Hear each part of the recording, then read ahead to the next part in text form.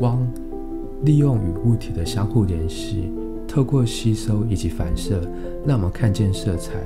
相机正是利用这个现象，将影像记录到影眼底片或是数位感光元件之上。而如果我们直接对着阳光拍摄，感受到的不仅仅是颜色，更多的是光线所带来的能量。逆光人像之所以令人着迷，是因为逆光所勾勒出来的轮廓温润如春，营造出来的感觉清池丽具。但拍摄逆光却不是一件简单容易的事。除了需要理解相机的运行原理，如何利用太阳来形成各种光机，都需要通过通透的理解才能简单驾驭。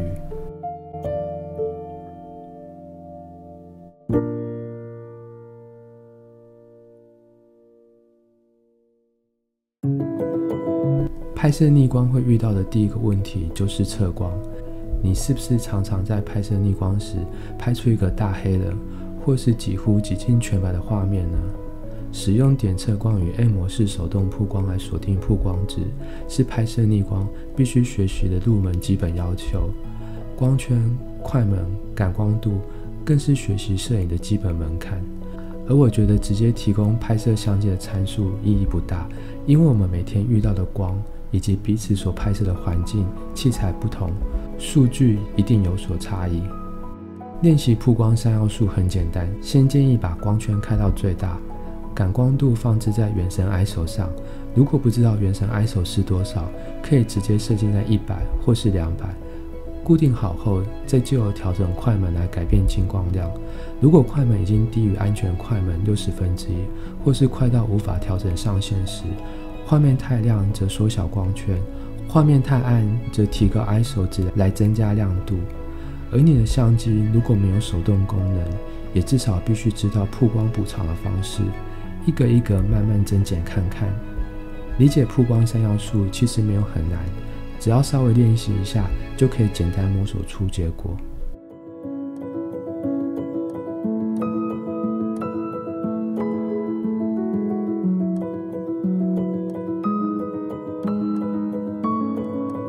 另外一种特例就是卡片型的随身底片相机，这类的相机基本上只有按下快门的功能。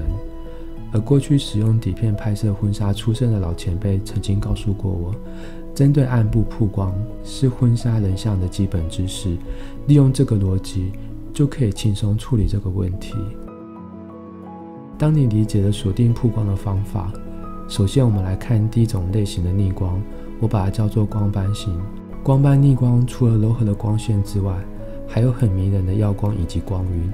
这种效果是光线进入镜头后，在内部反射所产生的异常。所以，想要拍出这样的逆光，首先你必须拥有一颗光学结构比较差的镜头。过去在拍摄上认为这样的结果是个缺陷，所以在设计上都会尽量避免。但如果你可以知道如何控制耀光，反过来运用它来增强照片中的效果，会为你的照片挂上梦幻与浪漫的视觉。随着技术的进步，镜片上的抗反射涂层在降低耀光的效果越来越显著。这也是为什么大家都会选择使用镀膜较差的老镜来拍摄逆光。但也并非只有老镜才可以拍出光斑，今年发表新镜头也会有机会出现。所以我们需要实际拿来测试看看，而每只镜头所产生的光斑都会长得不一样，这段拍摄逆光光斑成为推诿接固收集镜头最好的理由。原则上，老镜比新镜头容易，且具有更复杂镜头结构的广角以及变焦镜头也比定焦镜容易。但如果你的镜头还是拍摄不出来，这边教你光斑型逆光拍摄最大的秘密，就是先将镜头前的遮光罩以及 UV 保护镜片拿掉，这可能会阻碍你实现镜头耀光的机会。晴朗的天气是拍摄逆光的第一个要素，一般常看到会把拍摄逆光的重点摆设在拍摄的时间上，比如接近日出或是日落的黄金时刻。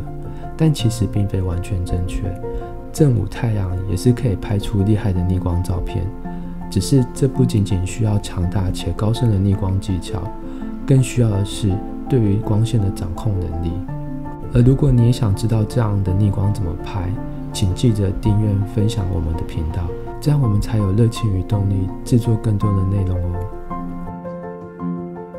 相较于一般白天，接近日落的太阳反差小，日色的光亮也比较温和，很适合新朋友入门做逆光的练习。这也是今天我们要介绍的第二种逆光法，我把它叫做日落余晖型。顾名思义，日落余晖型的逆光需要等待太阳变黄的时候，我们把它称为黄金时刻。它通常出现在完全日落的前一个小时，但也并非完全正确。这跟季节有点关系。日照时间比较短的冬天，黄金时刻就会比较短。以台南为例，七月份的夏天，太阳都会维持在七点才下班，而金黄色的光五点就会开始出现。反观冬天的太阳，则是五点就会打烊，黄金时刻所维持的时间也缩短许多，仅剩下半小时不到。金黄色的逆光大概是我最喜欢拍摄类型，每次拍摄都会很期待这个时间。但金黄色的光质可以说是可遇不可求，等待并掌握好拍摄的机会，是日落余晖型逆光最重要的要点。最后。逆光在拍摄上并不会太难，尤其是当黄金时刻出现时，拍摄过程会很好掌握。但当太阳越接近地平线，色温会越变越黄，拍摄下来的肤色也会渐渐暗沉。而这个肤色是任何强大的后置软体也很难处理，可能需要在拍摄上特别留意，不然也可以不用太在意人脸上的表现，拍拍剪影也是不错的氛围。而如果你还是拍不出，日落余晖型逆光，那么这边教你一个厉害的方法，这也是这类型逆光最重要的技法，就是把太阳藏在人后面，你会发现瞬间简单容易很多。很多人问我拍摄逆光到底需不需要使用反光板以及闪光灯补光？户外大晴天下，我自己是不会使用这样的工具，主要是反光板反射以及灯具补光，效果还是没有自然光源生动。但如果阴天、下雨、室内天色开始昏暗时，会导致光线非常平淡，这时还是需要这些器材帮忙。未来有机会再为大家示范灯光的使用方式。而如果你是使用数位相机，会建议使用漏档或是欠铺一些，因为我们在拍摄过后都还是需要做调色处理，我会尽量保持色阶的完整。再者就是理解你相机的动态范围，一般来说。电影底片高于负片，负片高于正片，大部分的高阶全片幅高于 APS-C 数位单眼。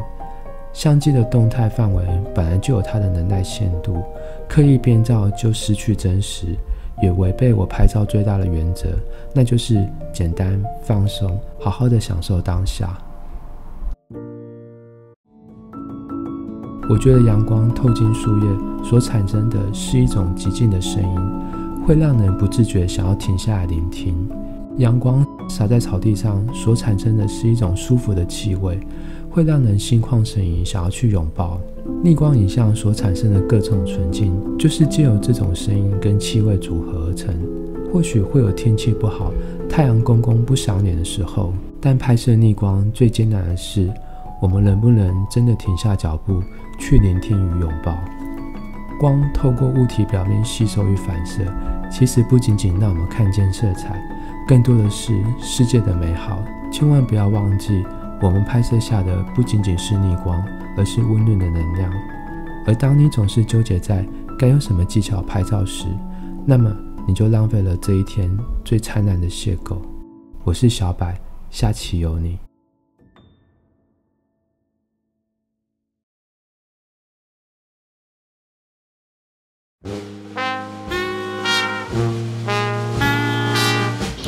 炸鸡，可颂，爬山或划水。划水是什么？水上活动。水上活动。你是守时还是不守时的？不守时。高跟鞋或运动鞋。运动鞋。漫画党或小说党。都喜欢。狗，但我养猫。电影院或 Netflix。Netflix。纽约或巴黎？纽约、那纽约或东京？还是纽约？还是纽约？那吐司跟法国面包呢？法国面包、咖啡、唱歌或跳舞？跳舞。